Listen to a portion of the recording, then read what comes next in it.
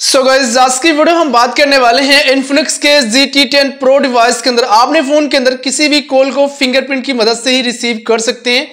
Well चलो इसका demo करते हैं और आपको दिखाते हैं इस सेटिंग को टर्न ऑन कैसे करना है। गाइस इस सेटिंग्स को अपने फ़ोन के अंदर ऑन करने के लिए सिम नेटवर्क सेटिंग्स को ओपन करना है। एंड यहाँ पर इस तरह टाइप से ऑप्शन आएगा। कॉल सेटिंग्स पे क्लिक करना है। देन मल्टीपल ऑप्शन शो करेंगे। एडवांस सेटिंग्स पर जाना है।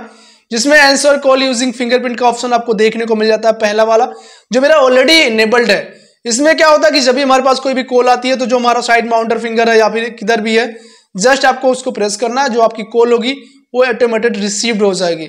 एंड मोस्ट ऑफ़ केसेस में मुझे देखने को मिला कि जो इन्फिनिक्स के फ़ोन होते हैं ऑलमोस्ट ज़्यादातर फोनों में यही होता है कि साइड माउंटर ही देखने को मिलता है। तो बस आपको करना क्या है फिंगरप्रिंट को टच करो और किसी भी जो भी कॉल आ रही है, उसको इजिली रिसीव्ड करो। सो आई थिंक आई समझोगे इस सेटिंग को टर्न ऑन कैसे करना था इन्फिनिक्स के G T ten pro device के अंदर।